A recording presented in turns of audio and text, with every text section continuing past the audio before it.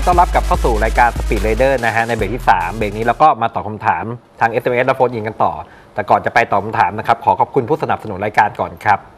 โช้คอัพดีๆ เหนือกับคอมวันหนึบโชคไวเซสนิตยสารรายเดือนฟาส t ์ไบ e ์ไทยแลนด์คิดถึงอะไหล่แต่งคิดถึง X Speed โซ่บิ๊กไบค์คุณภาพมาตรฐานต้อง DID และลูป 71 คู่หูนักบิดคู่มิตรนักปั่นครับ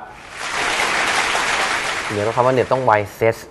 YSS าย่อไงย่อไวเซสมันสำเนียงแอฟริกาไอยเอ่อสำเนียงแคลิฟอร์เนีย YSS สำเนียงสำเนียงแอฟริกาถูกต้องเลยสำเนียงนะแคลิฟอร์เนียครับผมครับผมอะก่อนที่จะไปตอบคำถามนะครับ ไปชมเรื่องดีๆ จากพรบอิ่มใจกันก่อนครับเพราะการรักษา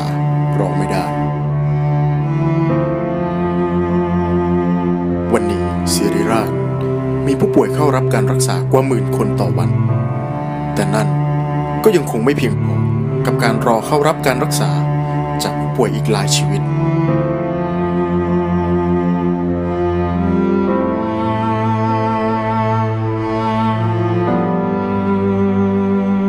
วันนี้เราจะช่วยกัน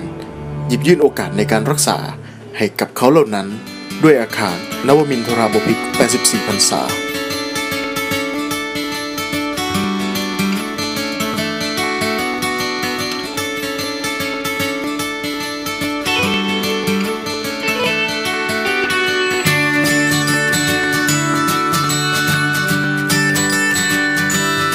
ำหรับอาคารนวมินทรบพิษ84พรรษานะครับ เป็นอาคารที่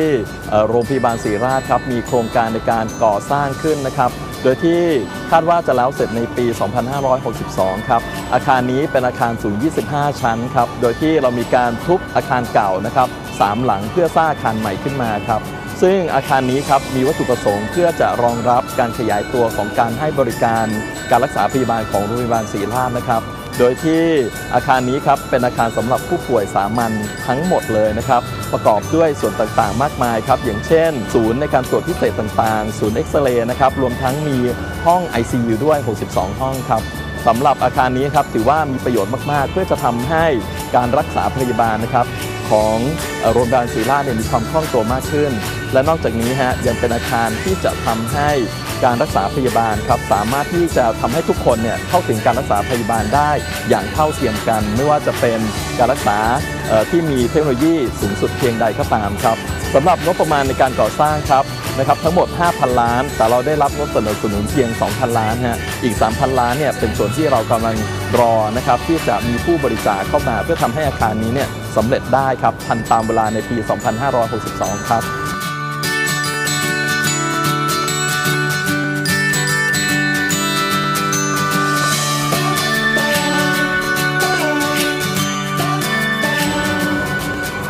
สวัสดีครับคุณผู้ชมครับ ผมวรบุญนันครับกรรมการผู้จัดการบริษัท Speed Channel จำกัดนะครับ วันนี้ขออนุญาตมานำเสนอโครงการดีๆครับ กับเรื่องราวของพรบอิ่มใจครับ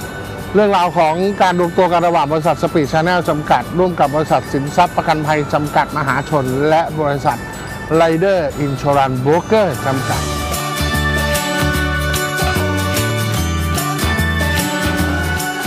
ขณะนี้มีผู้ป่วยที่ยากไร้มากมายที่เจ็บป่วยอยู่ ทางศรีราชที่ก็หาเงินสมทบทุนสร้างอาคาร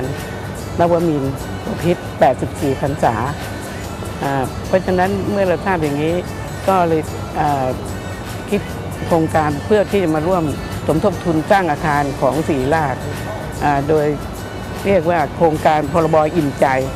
โครงการพรบอิ่มใจนี่นะครับก็คือเป็นโครงการที่บริษัท สินทรัพย์ประกันภัยจำกัดมหาชนนะครับร่วมกับบริษัท Rider Broker Insurance นะครับแล้วก็ทาง Speed Channel นะครับร่วมกัน 3 บริษัทนะครับร่วมกันเพื่อที่จะสมทบทุนนะครับทุกๆกรมธรรม์พรบที่ทางประชาชนซื้อโดยที่ผ่านบริษัท Rider Broker นะครับสินทรัพย์ประกันภัยจำกัดมหาชน จะร่วมกับบริษัท Rider Broker เนี่ยจะมอบสมทบทุนให้กับสีราชเนี่ยเป็นกรมธรรม์ละ 100 บาทนะครับ จนถึง 31 ธันวาสิ้นปีนี้นะครับเพราะการให้เท่ากับการรักษา และเราอยากให้ทุกคนได้เข้าถึงการรักษาอย่างเท่าเทียมกัน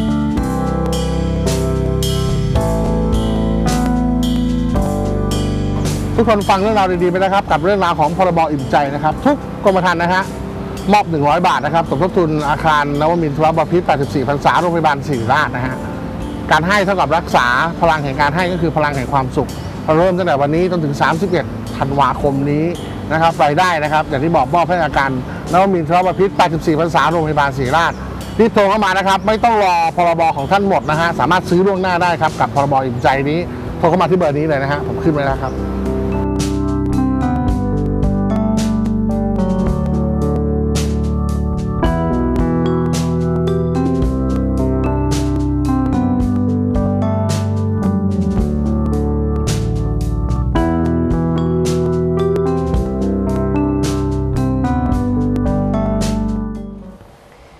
ใครที่พรบใกล้หมดก็ซื้อพรบอิ่มใจกันได้นะครับผมครับผมมารับสายกันดีกว่าครับ 0 2 5 3 0 9 4 9 6 98 SMS เหมือนเดิมนะครับ 4 8 2 7 7 7 2พิมพ์ C เป็นวรรคแล้วก็ตามด้วยคำถามหรือก็ข้อความของท่านนะครับผม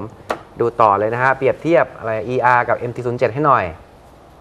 อืมผมว่ามันก็ใกล้ ๆ กันนะ ใช่ ถ้าจะเอาดุดันหน่อยก็ต้อง ER อืมอ่า MT07 จะได้ความนุ่มนวลกว่า ครับอืมแต่มันต่างกันเรื่องราคา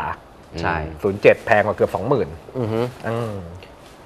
มันนั่นแหละมันก็อยู่ที่ความชอบของค่ายด้วยแหละครับจผริม งๆแล้วอะนะ แต่ถ้าเกิดว่าถามจริง ๆ แล้วเนี่ย จากที่ได้ไปทดสอบไปขี่ดูเนี่ย07ขี่ง่ายกว่า ใช่ เพราะเนื่องจากว่าจุดศูนย์ถ่วงมันอยู่ประมาณกลางครับๆแต่ว่า ER จะอยู่ข้างบนอืม นะฉะนั้นการที่พลิกรถพลิกง่ายกว่า อืม แล้วก็อัตราเร่งก็ก็ก็ก็ดูดีกันแหละ แต่ ใช่ ER มันจะมีกระโจนช่วงอะ กระโจนหน่อยหนึ่งอืม อืม ซึ่งผมก็ว่ามันก็อยู่ที่ความชอบแหละว่าคุณชอบใช่ยังไง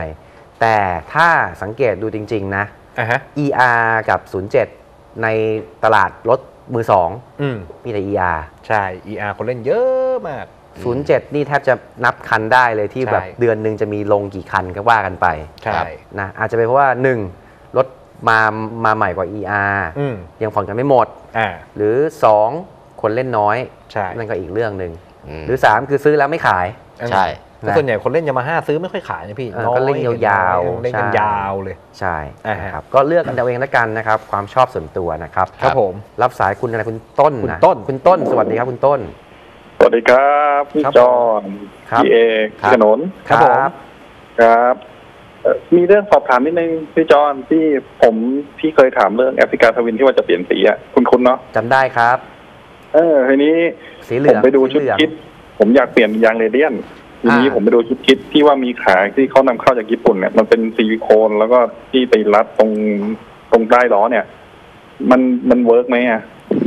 วันนี้ก็เพิ่งดูคลิปของของเอ่อล้อล้อซี่รถรถเล็กเหมือนกัน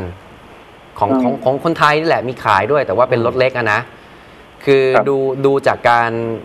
การติดตั้ง ใช้ได้ในในเขาเรียกว่าในระยะหนึ่งเลยแหละ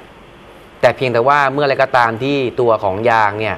มันอาจจะเรียกว่าหมดสภาพเสื่อมอืมจอดตากแดดบ่อยๆ โอกาสรั่วซึมอาจจะมีได้ครับ อาจจะมีได้อืมก็ยังไม่ร้อยเนาะมันไม่ร้อยเหมือนเหมือนตัวของพวกซูซูกิหรือของบีเอ็มอะเนาะถูกต้องมันคนละแบบกันนี่อันนั้นมันคือจุ๊บใช่เลดอันนี้มันจุ๊บไทป์มันคนละแบบกันอืมล้อก็ไม่เหมือนกัน ใช่เออว่าผมอยากเปลี่ยนยางส่วนใหญ่ผมจะใช้ทางดำซะเยอะเลย อืมจริง ๆ ทางดำเนี่ยใส่เป็นยางในก็ก็ก็ดีในระดับหนึ่งนะ เพราะเนื่องจากว่าตัวของเนื้อยางที่วันนั้น test เอ่อ Africa Twin มาเนี่ยยางติดรถมาเนี่ยก็ถือว่าหนาอยู่พอสมควร ฉะนั้นเนี่ยโอกาสที่มันจะแตกรั่วซึมเนี่ยน้อยเอาเป็นว่ามันน้อยละกันนะครับเพียงแต่ว่าต้องคอยเออเช็คลมยางให้ดีๆ อย่าให้ยางในมันมันมันแบนน่ะอืมแค่นั้นแหละอยู่ยาวนะครับ ตรงนี้ถามเรื่องความรู้นิดนึงพี่จอห์นผมครับไม่แน่ใจว่ายางที่มียางในกับยางที่เป็นยางที่เป็นยาง radial ที่ใส่แม็กเนี่ยผ้าใบในการเลน่ะมันมันใกล้เคียงกันไหมผ้าใบเหรอครับหมายถึงว่าการการเลของผ้าใบคืออ่าเรเดียนเจ็ดชั้นสามชั้นแล้วถ้ามียางในจะลดลงไปไหมคือจริง ๆ แล้วเนื้อยางเนี่ยใกล้เคียงกันครับ เนื้อยางเนี่ยอืมใกล้เคียงกัน เพียงแต่ว่าเรื่องของของความความหนาความบางเนี่ย อาจจะมีเหลื่อมๆกันบ้าง แต่ว่าไม่ไม่ได้น่าเกลียดเท่าไหร่ จริง ๆ หลักๆ เลยเนี่ยที่ที่เห็นชัดๆเลยก็คือเรื่องของตัวขอบยางมากกว่าอืมขอบแก้มยางนะแก้สำคัญแก้มขอบแก้มขอบขอบอะแก้มขอบล้อเนี่แก้ยมขอบความแข็งใช่ความนิ่มมันจะต่างกัน ครับ ไม่เท่าตัวเรเดียนน่าจะแข็งกว่าเนาะตามใช่ครับ ใช่ครับอืมอืมถ้าแนะนำไม่เพื่อปล่อยตามสภาพเดิมอะเนาะผมว่าไม่ต้องไปสรรหาใส่ใช่ไหมถูกต้อง ผมผมผมผมให้ให้ข้อคิดอย่างนี้ดีกว่า คือรถเนี่ยมันออกแบบมาในระดับของมันแล้ว มันมีการทดสอบ มันมีการลุย มันมีการจ้ำมีการโดดจริง ๆ โอกาสที่มันจะแตกเนี่ยถามว่ามีไหมมีแต่น้อยมาก ง่าย ๆเลยแล้วกัน เราดูรถเล็กแล้วกันรถเล็กเป็นเป็นเป็นเป็นหลักแล้วฮะอย่างสมัยก่อน KR TZR หรือ VR หรืออะไรก็แล้วแต่เนี่ยใส่ยางเอ่อนิดเดียวขอบ 120 เล็กๆ ใช้แม็ก140 120 เล็กๆ แต่ถามว่าพวกนั้นน่ะแตกบ่อยไหม นับได้เลยว่าปีหนึ่งเนี่ยแตกเต็มที่คือ 2 ครั้ง เหตุผลที่แตกคือสภาพเองไปตกหลุมตกอะไรเองมากกว่า แต่ถามว่าถ้าเกิดว่าใช้จริง ๆ แล้วเนี่ยแล้วดูแลจริง ๆ แล้วขี่เป็นจริง ๆ เนี่ยโอกาสแตกแทบจะน้อยมาก นอกจากซวยจริง ๆ ไปโดนตะปูหรืออะไรอย่างเงี้ยนั่นอีกเรื่องหนึ่งปัญหาคือที่อยากทำก็คือถ้าเกิดความซวยเราไปโดนตะปูเราอยากแทงหนอนไงเอ่อแทงหนอนถามว่า มันก็ใช่มันก็ใช่อะแต่ว่าจริง ๆ แล้วถ้าเกิดว่ามันมันรั่วจริงๆเนี่ยเอ่อการการที่เราจะดูแลเนี่ยเราพกติดยางในไซส์ของมันเองเอาไว้คือเราคิดง่ายๆ เหมือนกับเราปั่นจักรยานไปออกทริปอะไรอย่างเงี้ยนั่นแหละเรามียางในชุดหนึ่งเรามีเครื่องมือสำหรับถอดล้อเองได้เพราะมันถอดไม่ยาก พี่ว่ามันมันเป็นเรื่องที่น้อยมากที่จะเจอ แต่ถ้าเกิดว่าเรามีของเตรียมตัวอย่างเงี้ย โอกาสที่เราจะได้ทำการซ่อมแซมเองเนี่ย โอกาสมันมันง่ายมาก อืมครับ โอเคพี่จอนขอบคุณมากพี่ท้ายนี้ก็มีกำลังใจให้ทั้งสามทีมทั้งสามคนนะครับผมครับเออเสียดายพี่มองตรงเสียดายครับผเสีมยดายคนที่มีคุณภาพหายไปคนหนึ่งครับเสียดายผมจริงๆพี่ก็รอไม่วัได้พูดอะไรพี่ครับ ไม่เป็นไรครับเศร้าเนาะก็เดี๋ยวรอรอมันอาจจะมีโอกาสที่เราจะได้มาตั้งตัวเริ่มต้นกันใหม่ได้ ก็คือเดี๋ยวขอดูในเรื่องของทิศทางกันแป๊บหนึ่งนะครับ ซึ่งอะ เชื่อว่าพวกเราเองก็หวังว่าในในสิ้นเดือนเนี้ย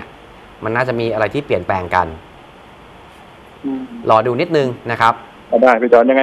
เป็นกำลังใจทั้งพี่ทั้งสามคนนะอย่าท้อนะพี่ครับครับผมยังไงผมทุกวันพี่ไปไหนผมก็ตามไปดูแหละครับผอมย่างน้อยมีแฟนคนหนึงแล้วพี่ได้ครับผมครับขอบคุณมากโอครับเคพี่ขอบคุณมากครับครับครับผมสวัสดีครัครับบ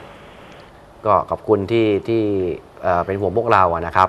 ถามว่าพวกเราทำงานกันทำด้วยใจหรือเปล่า เอาทำทำทำตรงๆเลยทำด้วยใจนะฮะอืมไอ้เรื่องเงินเนี่ยบอกบอกเลย ถ้าเกิดว่าเคยดูคลิปผมที่ผมบอกไปแล้วเนี่ย คุณจะรู้เลยว่าเรื่องเงินไม่ใช่เรื่องปัญหาของพวกเราเลย ปัญหาของพวกเราคือเราต้องการที่จะทำงานแล้วให้กับเอ่อคืนสู่สังคม ให้คนเห็นว่าวงวงการมอไซค์เนี่ยในเขาเรียกว่าวงการน้ำดีอะอืมมันยังมีอยู่ครับทำไปเนี่ยบอกเลยว่าผมอยู่บ้านเนี่ยผมสบายกว่าตั้งเยอะ ผมไม่ต้องมานั่งรับลูกส่งลูกแล้วต้องตีกลับมาพี่เอกก็ขายเปิดร้านไปเดเปิดจนถึง6กโมงก็ยังมีลูกค้าเข้าอ่าขนุนจังบ้านอยู่นู่นจรานยังต้องถอมาตรงนี้อืมถามว่าทำไปทำไม เราทำกันเพราะว่าเรารักอืมรักรายการผูกพันอือฮึเหมือนกับที่ผมอ่านคอมเมนต์ขนุนแล้วผมรู้สึกดีมากอือฮึกระดุนจังเขียนเอาไว้ในในไลฟ์ของผมว่า คือตอนแรกก็ไม่ได้คิดอะไรหรอกทำนองเนี้ยนะอืมแต่พอมาอยู่แล้วมันรู้สึกว่ามันมันผูกพันอ่ามัมันรักขาดไม่ได้อ่าถูกไหมใช่นั่นแหละฮะก็คือเป็นสิ่งที่พวกเราเนี่ยยังคงอยากจะทำอยู่ครับอยากจะผมให้เพื่อนๆนั้นได้รับทราบว่าที่อยู่กันกับกับเพื่อนๆทาง TrueVisions นะฮะช่องของ91 กับรายการ Speed Rider เนี่ยอยู่กันเพราะรักเพื่อนๆทุกคนอืมทุกคนเป็นเพื่อนผมหมดแหละ คุณจะเกลียดหน้าผมหาว่าผมขี้เก๊กใส่แว่นตาหรืออะไรก็แล้วแต่ก็ไม่เป็นไร อ่าฮะอย่างน้อยคุณก็ยังเปิดดูความรู้ของคนอื่นเขา อืม ไม่ต้องมามองผม อ่าฮะ ผมผมเป็นอย่างนี้แหละ ผมกวนตีนกว่านี้ด้วยซ้ำในในชีวิตจริง อ่า แต่ว่าอย่าไปมองตรงนั้นครับ มองด้วยเจตนารมณ์ว่า ผมและเพื่อนๆให้อะไรกับสังคมบ้าง อืม ขอแค่นี้แหละ ครับผมนะฮะต่อเลยแล้วกันนะครับ พวกน้ำยาล้างห้องเครื่องหลายแบรนด์ สมควรล้างเครื่องหรือเปล่า ล้างเครื่อง ล้างเครื่องครับในที่นี้คือ มีประโยชน์ไหม ขอขอสองอย่างอ่าไม่ชัด ล้างเครื่องข้างนอก หรือล้างภายในห้องเครื่องข้างในอ่า มันจะมีสองในในท้องตลาดมีสองแบบ อืม แบบแรกก็คือใส่เข้าไปในเครื่องยนต์เลย อืมเพื่อที่จะไปชะล้างเอาไอ้พวกนั้นเขาเรียกไอ้นี่เอ่ออะไรนะ Flushing flushing oil Flushing oil ากับอีกอย่างหนึ่งก็คือน้ำยาตามคลองถมอืมที่ฉีดภายนอกเครื่องใช่ล้างคราบน้ำมันคราบยางมาตอยคราบอะไรก็แล้วแต่ใช่ อ่าไม่รู้ว่ามันเป็นอันไหน แต่ถ้าเป็นมอเตอร์ไซค์ผมว่ามันน่าจะเป็นในเรื่องของ flushing oil มากกว่า ครับ อืมเพราะว่าภายนอกเครื่องไงเราใช้น้ำกับ เอ่อเขาเรียกอะไรพวกน้ำยาน้ำยาล้างต่างๆเนี่อืยอฮึอ่ามันก็ชำระล้างได้อยู่แล้วอืมนะฮะผมให้ให้เขาเรียกว่าให้เป็นเป็นข้อคิดละกันอือฮึรถของเราเนี่ยมอเตอร์ไซค์เราพูดถึงไอ้ไอ้ล้างข้างนอกเนี่ยไม่ต้องไปพูดถึงมันหรอกอ่าล้างข้างในเนี่ยเพราะว่าจริงๆแล้วใช้โซล่าล้างก็ได้ถูกต้องหรือะไรก็ได้ แต่การล้างข้างในเนี่ยมันมีสิ่งที่เราต้องต้องนึกเสมอว่าทำไมเราถึงล้างใช่ คุณมั่นใจได้ยังไงว่าภายในห้องเครื่องของคุณทั้งหมด มันสกปรกอืม ถ้าเกิดว่าวิธีการง่ายๆเลย อย่างที่พี่เอกแนะนำเปิดฝามาดูเปิดฝาสูบฝาไอ้ฝาข้างๆฝาตัวที่เอาไว้สำหรับถ่ายน้ำมันเครื่องถ่ายน้ำมันเครื่องเอาไว้ดูอย่างเงี้ยถ้าเกิดว่าคุณเห็นว่ามันดำมาก อาจจะไม่ได้เป็นเพราะว่าเครื่องคุณเน่าอืมแต่อาจจะเป็นเพราะว่าคุณไม่ได้ดูแลเขาอ่าคุณไม่ได้ใช้น้ำมันเครื่องที่ดีอืมคุณไม่ได้ถ่ายน้ำมันเครื่องตามเวลาอือฮึหรือคุณตะบี้ตะบันใช้อย่างเดียวโดยการใช้อะไรก็แล้วแต่อ่าอันนั้นอะยังไงก็ตามมันก็ดำถูกต้องต่อให้คุณไปฝัดชิ่งให้มันขาว แต่เดี๋ยวมันก็กลับมาดำอีก ถูกต้อง ไม่ขาวนะ ใส่เข้าไปก็ไม่ขาว มันไม่ใช่ขาวมันแค่ไปล้างคราบออกนิดหน่อย ใช่ ยกเว้นบางตัวพี่เอกบางตัวอะน้ำยาแรงอืมๆ ออกจริงขาวเลย แต่ลูกยางถูกกัดด้วย อืม ลูกยางนิดนึงเนี่ยแค่อืมจุดจุดศูนย์สองสามสี่ millisec เนี่ยนิดเดียวเนี่ย อืมพอมันรั่วปั๊บเนี่ย มันก็อะไรรั่วอะไรเลย มันก็รั่วหมดเลย ถูกต้อง ถูกไหมก็ต้องลองดูครับว่า พี่อย่าว่าแต่แค่เป็นรอยเป็นแค่อะไรนะ เป็นรูรั่วเลย อืม แค่มันแข็งแล้วตายตัว มันก็อืมกักน้ำมันไม่อยู่แล้ว ถูกต้อง อืม ฉะนั้นก็เลือกใช้ได้ครับ แต่อย่างที่ผมบอกคือว่า คือถ้ามันมันจำเป็นจริงๆต้องใช้ก็ใช้ อืมแต่ถ้าเกิดมันไม่จำเป็นดูแลเรื่องของน้ำมันเครื่อง อ่าฮะ ใส่หัวเชื้อดีๆ เห็นผล อย่างวันนี้เนี่ยผมให้ดูในในในเพจของผม ผมเอาตัวที่อู่ดังๆเนี่ยเขาเอาโอเมก้าไปใส่ อ่าฮะแล้วเปิดฝาสูบให้ดูเลย อืม คือเห็นเลยว่าความขาวเกิด อืม คือมันไม่ได้มีการสะสมของตัวตะกอนหรือว่า ตัวหัวเชื้อน้ำมันเครื่องอ่าเห็นชัดๆว่าโอเมก้ามันมันเจ๋งจริงอืมอืม นะครับก็เลยสมัยก่อนมันมีอันนี้นี่พี่ที่เห็นแบบส่วนผสมใช้พวกเทปลงเทปล่อนนั่นแหละอไรเยตัวแก็ติดเลยไปเกาะตามผนังเต้ไปหมดเลยดำปีเลยอะไรพวกเนี้ยนั่นแหแต่ละโอเมครัก้าบ ไม่ใช่ ไม่ใช่ครับ อืม วันนี้ confirm แล้ว เพราะว่าให้ดูในในในแฟนเพจแล้วว่ามันใช่มันมันมันเห็นรูปจริงอ่านะครับครับผม มารับสายแฟนรายการหน่อยคุณคอนคุณคอนใช่ไหมครับ ครับผม สวัสดีครับ ผม สวัสดีครับ พอดีจะสอบถามพี่เอกหน่อยครับ ครับผม คือพี่เอกนูอีริแกนนะครับ ครับเอ่อหลังจากที่ว่ามันมีอาการที่กระตุก ตอนนี้เราออกรถตอนเช้าๆนะ ครับ ผมก็ขัดขัดแผ่นคัดแล้ว ครับ แต่พอใช้ได้สักประมาณสองพันโล มันก็กลับมากระตุกแบบนี้อีกครั้งหนึ่ง ไม่ทราบมันเป็นที่ อะไรอะครับตัวนี้นอกจากคัดแล้วมันมีตัวอื่นอีกไหมครับ ส่วนใหญ่ตรงเนี้ยเป็นที่คัดครับพี่ตอนกรณีทอนพี่ถอดออกมาครับ พี่ลองสังเกตที่ตัวสัมผัสหน้าคัด นี่คือกระโหลกคัด หรือครับชามคัด นี่คือก้อนคัดที่ไปสัมผัสครับตรงเบ้า พี่ดูว่ามันครับกินครับเนียนทั้งอันหรือเปล่า ครับ ถ้ากินไม่เนียนทั้งอัน โอกาสคัดดุ้งก็มี ผ้าคัดถ้าแข็งเกินไปหรือขึ้นหน้าเงามาก โอกาสคัดลื่นคัด แข็งคัดไหมมันก็ไม่สามารถทำอะไรกับเขาได้ก็คือว่าพี่ขัดใช้ได้ชั่วคราว แต่พี่ใช้ไปได้สักพักหนึ่งก็จะออกมาอีก ในกรณีที่ไม่มีจาระบีทะลักออกมานะครับ ครับครับ แต่ถ้ามีจาระบีตัวนั้นเป็นสาเหตุเลย แต่ถ้าไม่มีจาระบีผ้าคัดมีส่วนเยอะเหมือนกันครับกะกะโหลกคัดอืมครับครับครับ ครับผม แล้วอีกอีกข้อหนึ่งครับพี่ครับ คาบูเดิมของนูโวอิลิแกนครับผมอยากจะเปลี่ยนเป็นคาบูพวกเอ่อเดฟหรือว่าเป็นเอ็นโป เป็นโปรสายคันเร่งอะพี่ต้องเอาของอะไรมาใช้อะครับ อ่า ผมใช้ของมิโอครับ มีโอรุ่นไหนอะครับพี่ทุกรุ่นได้หมดเลยครับ แต่ต้องแปลงต้องตัดต่อแปลงเอาครับเขาต้องตัดต่อแปลงก่อนนะใช่ครับ หรือไม่ก็ซื้อสายพวกระฆังทองพวกสายแต่งทั้งหลายทั้งหลายเขาก็มีครับผมขับความยาวได้เลยใช่ไหมพี่หรือว่าอ่ามันยังไงก็ต้องตัดต่อพี่เขาต้องตัดต่อนะครับ ใช่ครับ โอเคครับ ขอบคุณครับผมมากครับพี่ทั้งสามครับผมคุณจอนครับผม ครับ วันนี้ออกออกอ่าถ่ายทอดสดผมก็ได้ได้ชมนะครับถ่ายทอดอะไรอ่าเป็นกำลังใจให้ครับผม อ๋ออ๋อจากแฟนรายการคนหนึ่งครับผม อ่าครับผมขอบคุณครับ ครับครับครับ ครับขอบคุณมากครับ ครับผม สวัสดีครัคบ รับ ก็ไม่ได้อยากออกอะนะครับ อือฮึ คือเราเรารู้ว่าออกไปแม่งมีแต่เรื่องเรื่องลบในในแง่ของของคนเล่นรถซิ่งนะครับ แต่ก็บอกไปแล้วครับว่าทำยังไงได้เราเดือดร้อน อืม เห็นใจกันบ้างเถอะเวลาที่คุณสนุกกันแต่คนอื่นเขาเดือดร้อนใช่ ผมก็เป็นแค่ส่วนหนึ่งของของคนที่เดือดร้อนอะ อืม อืม ผมก็ไม่รู้พูดยังไงอะนะเรื่องนี้ ใช่ คนคนหลาย ๆ กลุ่มก็ก็มองเราเป็นในแง่ลบว่าทำไมมาเผากลุ่มรถซิ่งกันเอง ผมไม่ได้เผารถซิ่ง อืมผมเผาคนที่ใช้รถซิ่งผิดประเภท ใช่ รถซิ่งกับผม ผมผูกพันมาตั้งนานแล้ว ผมเป็นยุคแรก ๆ ของการเล่นรถ Q8 อืมผมเป็นยุคแรกของเว็บที่ชื่อว่า racingweb.net อือฮึผมเล่นรถซิ่งมาอย่างต่ำๆเป็นร้อยคัน ถามได้ว่าผมเล่นอะไรมาบ้าง ถ้าเกิดว่าคนที่อยู่ในวงการจะรู้ดีจนกระทั่งผมคิดว่าผมพอละผมเลิกละผมไม่อยากทำให้ใครเดือดร้อนผมก็เลิก มีหลายๆคนที่ยังอยู่ในวงการรถซิ่ง แต่ก็ไม่ได้ทำให้มันเดือดร้อน ก็มีเยอะแยะไปรุ่นใหญ่ๆที่โทรศัพท์มาพูดคุยกัน ก็มีเยอะแยะไป ก็คือแค่อยากจะบอกว่าเราเดือดร้อนเราก็เลยทำอย่างนี้ขึ้นมา ครับนะผมครับก็เห็นใจกันบ้างนะครับ มาเดี๋ยวเราพักเบรกกันก่อนดีกว่านะครับ ช่วงหน้ากลับมากับรายการ Speed Rider